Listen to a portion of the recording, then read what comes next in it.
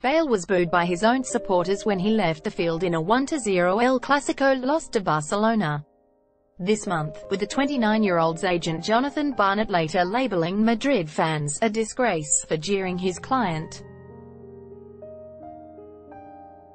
The Wales international has scored just three goals in 2019 during a slump in form for Los Blancos, who hired former boss Zinedine Zidane to take over from Santiago Solari on Monday. Bale's current international manager and former Manchester United midfielder Giggs says the ex-Tottenham Hotspur star should understand that being under scrutiny is nothing new for those who play at the Santiago Bernabeu.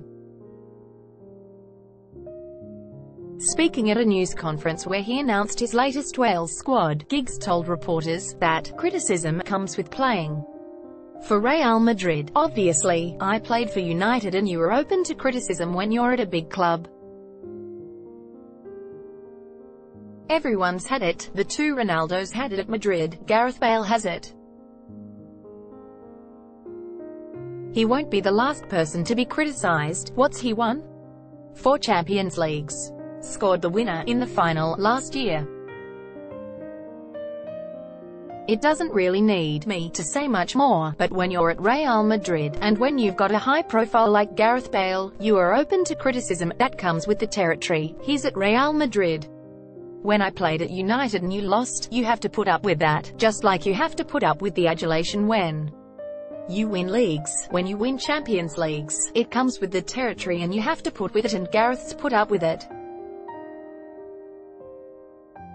Great players over the years have put up with that, especially at Real Madrid. There's newspapers dedicated every day to reporting on that club, so you have to take the rough with the smooth.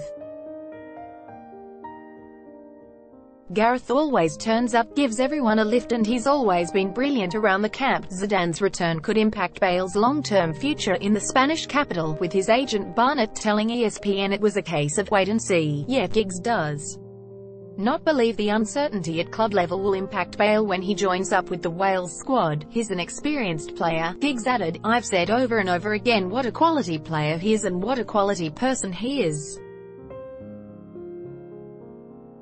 I expect Gareth to turn up and, just like he always does, give everyone a lift.